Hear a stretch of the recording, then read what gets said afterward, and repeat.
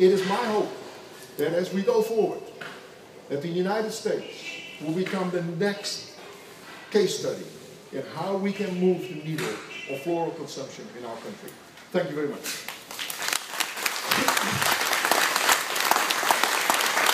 Think California, because your customers care where their flowers come from.